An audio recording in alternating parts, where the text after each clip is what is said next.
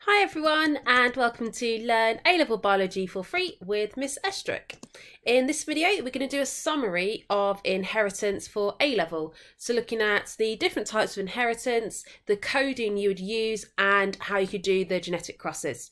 So if you are new here, click subscribe to keep up to date with all the latest videos and if you do find it helpful please give it a thumbs up. If you do want to make notes then just grab a pen and paper to have a go at some of the genetic crosses. So first of all, it's just an overview of the key terms that come up in this topic. And the ones I've put in bold are the different types of inheritance, whereas all of the others are the key words that you could be asked. So at this stage, if you are doing this for revision, you might want to pause the video and have a go at some key terms. One good way to make use of this as well is to try creating flashcards. Um, you can click the link at the top here if you want just to get some ideas on how to best create and use flashcards. Um, if it's the first time that you're doing inheritance, then go straight through so you can see these definitions.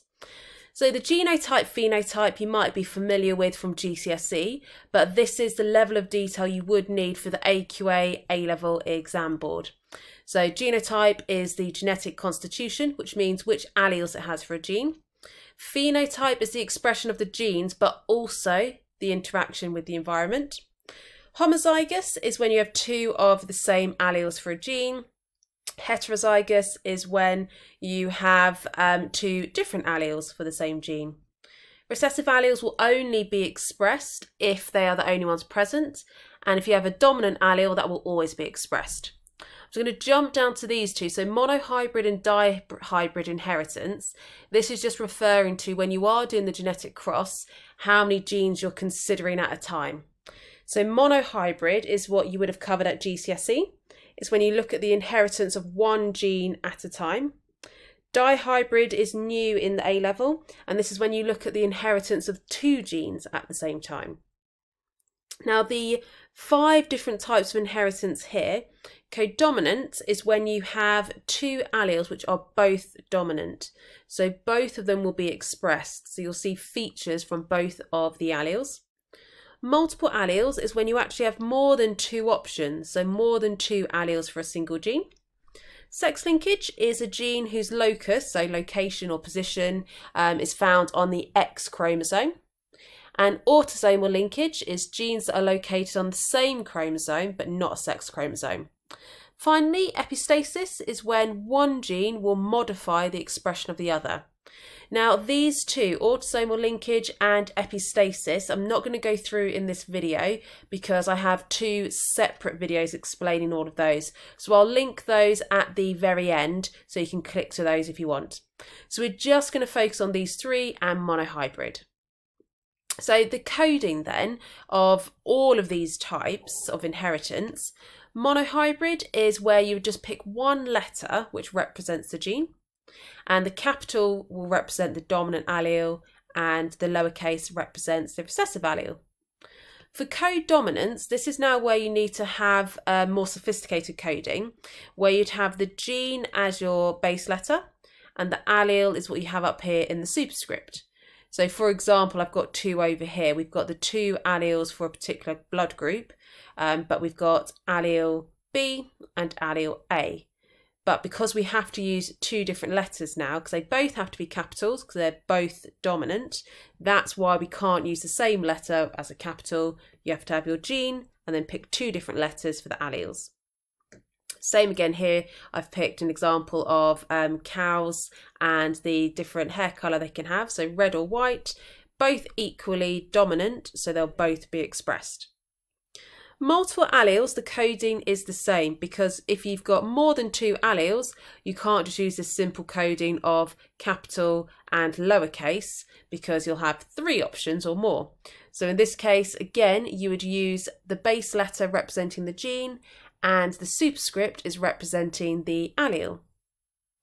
Sex linkage, because the um, chromosome is the X chromosome, that's where you find the gene of interest, what we do is we write the allele against the chromosome. But you only have the gene on an X chromosome. So that's why for female XX, we have our two genes. So we've got our two um, alleles of different versions for that gene. But for a male, they'll only have an allele on the X chromosome because you don't find the gene on the Y chromosome.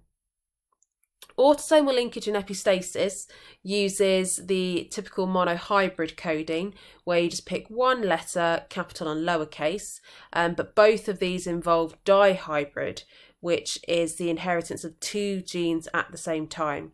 So that's why I've got two different letters in both cases. We've got letter A representing gene A, and you've got your two alleles, and then we've got letter B representing a different gene, um, but your two alleles. So first of all then, monohybrid. In this example, we're going to look at cystic fibrosis. It's caused by a recessive allele. So if you have two carriers reproducing, what's the probability that the child will have cystic fibrosis? Secondly, what's the probability that they'll have a girl with cystic fibrosis? So if you want to try this, pause now. Um, so you always need to include the parental genotypes. So for this one, they're both carriers. So here are two genotypes. Now it doesn't matter which letter you used, I just happen to use F. Now I'm going to do my Punnett square to work out the probability.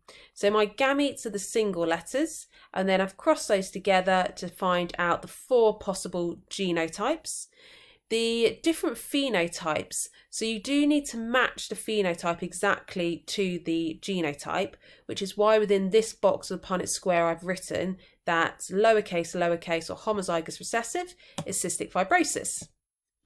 So we have 25% probability that the child will have cystic fibrosis. The second part of the question though is what's the probability they'll have a girl with cystic fibrosis? And there's 50% probability of having a girl so we times it by 50% probability, 12.5%.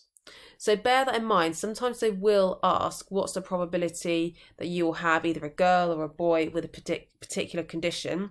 That does not mean it is a sex linked question necessarily.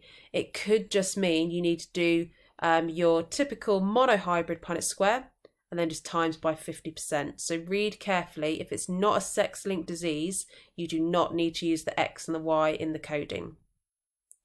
Next, codominant. So this is the cow example that I was talking about with the red, white or roan. Now it's not literally bright red, but we use the term red for this colour, or sometimes you might see brown. But red and um, white are both dominant, so it's codominance. So that means that if an individual has both the red allele and the white allele, then their phenotype will be roan, which is this appearance just here. So we've been given an example where you've got two roan cows reproducing, and the question is what's the probability they'll have red offspring? So both parents are heterozygous, they both have um, the dominant red and the dominant white, so it's codominance. So next then we put their gametes into the Punnett square. Then we do the cross to see what are all our possible genotypes. And again, I've matched up each of the genotypes to the phenotype. And we can see we only have 25% probability of having a red cow. That's where we have to have two of the dominant R's, the dominant red. Same here, only way you're going to get a white cow is having two dominant whites, because if you have one of each, it's always going to be roan.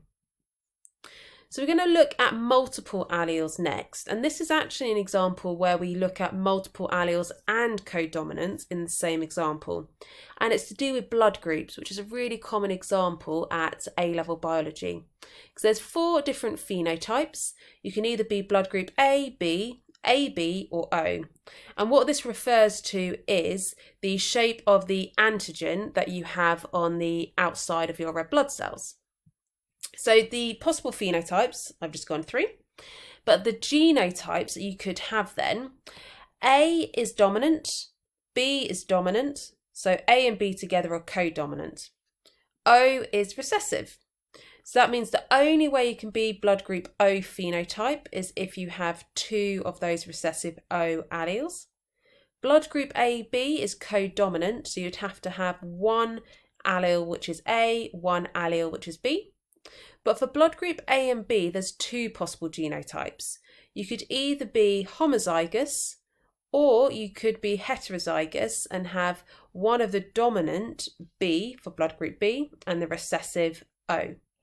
Same idea for blood group A. You could have one of the dominant A alleles and one of the recessive O alleles, and you'd still have the dominant expressed, which would be blood group A. So let's go through a genetic cross example for this then. So we've got parents with blood group AB, and the second parent is blood group O. They reproduce, and we're reminded here that A and B are dominant, so they're co-dominant, and O is recessive. So what's the probability of these parents having offspring with blood group A? So we've got the parental genotypes would be, one of them is co-dominant, so AB, the other one is blood group O, so they have to be homozygous recessive for the O allele. So in our Punnett square, then I've put the gametes on the outside. I've then crossed together to see what are our four possible genotypes, and I've written in the blood groups. So in this example, we'd end up with 50% probability of having blood group A. Next then is the sex linkage. Now we said sex linkage is when the gene is only found on the X chromosome. And the example we've got is colour blindness here. So red-green colour blindness um, is caused by a recessive allele, which is only found on the X chromosome. If a non-colourblind male reproduces with a female carrier of the allele, what's the probability their children will be colourblind? So this time we have to use the coding to demonstrate their biological sex as well as which allele they have on the X chromosome. So the female is a carrier, so she has one dominant R for normal vision, one recessive R for colourblind. The male only has one X chromosome, and we're told that they are not colourblind, so that means they have to have the dominant allele representing not colorblind. There is no allele next to the Y because you do not find the gene on the Y chromosome. So now we do our Punnett square. So we've split up the gametes. So in the egg cells, you'll either have X recessive R or X dominant R. In the sperm cells, you'll either have X dominant R or a Y chromosome.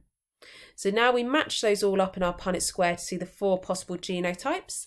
I've then matched that with the phenotypes, and there's only 25% probability that they will have a child being colourblind.